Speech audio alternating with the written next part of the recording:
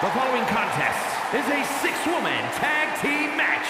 Introducing first, from Sanford, North Carolina, one half of the Women's Tag Team Champions, Lita. A true, fearless daredevil, the Hall of Famer herself, Lita. Haley, a couple of women have held the original Women's Championship more than Lita. And Lita can still compete at a level to overtake them, I guarantee you.